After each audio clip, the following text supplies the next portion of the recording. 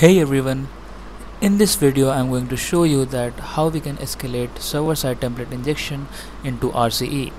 Before that, if you haven't checked out my previous video in which I've shown you that how we can uh, automate the process of server-side template injection, then I recommend you to check, to check that out and let's get started for this video also if you are new to our channel and if you don't know about our website which is bepractical.tech then i recommend you to check that out. We have awesome labs for cybersecurity as well as web development over there. As you can see we have this website and we have labs for uh, web development as well as cybersecurity. So do check that out and improve your bug bounty and ethical hacking skills as well as your web development skills. Now coming back to the video let's see that how i have found and how I have escalated server-side template injection into RCE. First of all, you have to find RCE and make sure that in order to find a RCE via server-side template injection, you need to access an object that is uh, somehow rela related or executing or is allowed to execute system commands. So what I mean by that, so we know that we can access ob objects using server-side template injection right?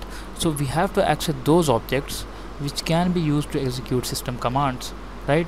Now in order to find RCE using a server-side template injection you need to first of all find that which template template that site is using. For example in this case this site is using a Spring Boot. Now that we have identified that we are using Spring Boot then what we are going to do we are going to find payloads related to Spring Boot that can be used to execute system commands. Let me show you how. So as you can see in this website it is showing that it is made with Spring Boot. We can use multiple tools to detect whether this application is using Spring Boot or not but since it is clearly mentioned over here so I'm not going to use any of that. Now first of all let us try to find a server-side template injection. So if I use a simple query like this uh, 40 into 30 and let's see whether we get 1200 or not. So as you can see we get 1200 which means that the site is vulnerable to server-side template injection. Now what we need to do is we need to find payloads related to uh, this particular spring boot that can be used to execute system commands that can be used to access the, the objects that are uh, allowed to execute system commands basically right? So we can just do this by uh, go googling this particular uh, string like uh, RCE payloads SSTI for uh, RCE payloads for SSTI Spring Boot something like this. So let me show you what we can Google. So if I type uh, SSTI to RCE payloads then you can see we have a bunch of payloads that can be used by us to uh, execute system commands right? So I'm just going to add the template engine here spring boot. And as you can see we got multiple websites. And now let's try to uh, find a payload that can be used to execute system command on that particular application. So it is going to take some time because my internet speed is a little bit slow. So don't worry about that. So what we can do now is we can uh, see some website that uh, is showing us that how we can uh, execute system commands using SSTI right? So I got one of these website which is blog.hawkeyesecurity.com so let me show you what this website is. So in this website someone has found RCE uh, via Spring Engine in Yahoo. So let me show you what payload did that particular guy used. So as you can see normally he tried this payload. So in this payload you can see that it, it is accessing this particular uh, object right? java.lang.system so this is an object that can be used to execute system commands and it is trying to get environment variables. So let let us try to see whether we can get this same output as the hacker did over here. So i'm just going to copy this and i'm going to paste it in my application. So please make sure that in that particular case we have found that the hacker was using a dollar right but we know that we have executed the SSTI via star right? So we are going to use star instead. And let's hit enter and let's see what happens. So as you can see we successfully got the environment variables. Now the second job is to execute a system command like whoami or ls or anything that can be an indication that we we were able to execute system commands right? So we can do this. Over here as you can see we have another object which we can use. So if I copy this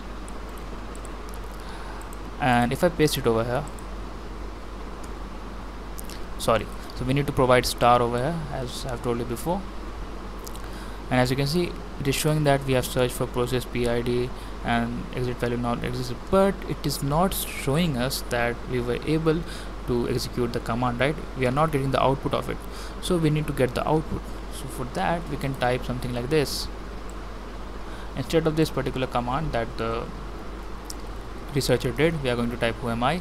And as you can see it is showing that error occurred banned characters which means that the characters are banned. So there is some kind of uh, implementation a firewall implementation done by the developers that is not allowing us to execute system commands perfectly right? But still we know that we can access some of the environment variables so it is possible that we can execute system commands. So now what this ha hacker did basically he has encoded all these particular uh, commands like if you want to execute who am I then it is going to uh, convert that uh, characters each characters of who am I into an ASCII code. So ASCII code is nothing but a number associated with that particular uh, character. And after that he has used a particular as you can see he has used a particular character object to convert all those numbers back to the string so when we got the particular numbers it is going to convert it into string and then it is going to be executed by this uh, java.lang.runtime so in the end we will see we should see the output of OMI so in this case the attacker has tried to access the etc slash password. That's why the string is so long but in our case whatever depending on the commands it is going to uh, vary a lot. So let me show you. So if I copy this and if I paste it over here. Now let us see what will happen. So I'm going to append a star because we know that the SSTI is executing because of that particular star right?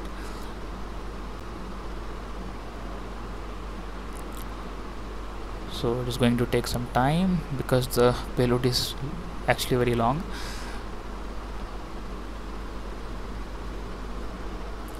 now let's try to put a star and let's see what happens.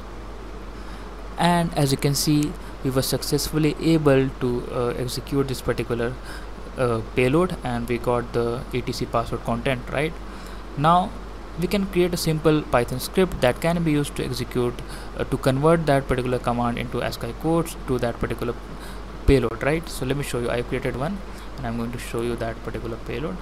So if I head over to here and this is the particular payload.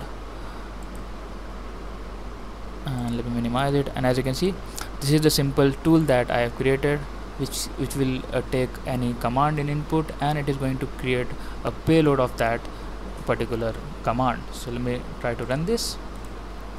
Now uh, okay sorry. So request is not installed. I'm just going to install it.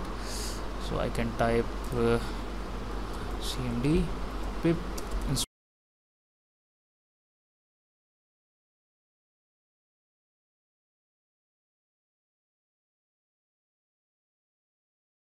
ps4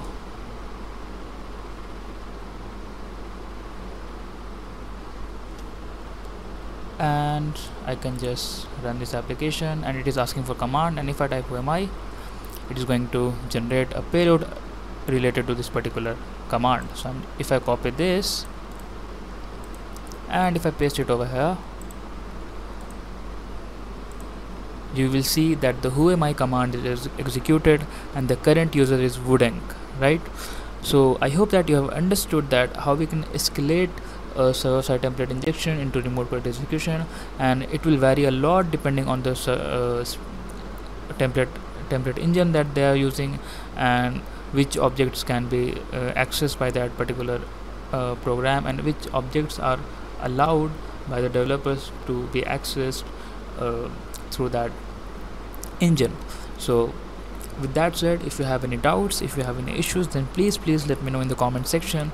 Also do join our telegram group telegram channel where we can have discussion over any topic like web development bug bounty etc and finally if you guys have any doubts then please let me know in the comment section.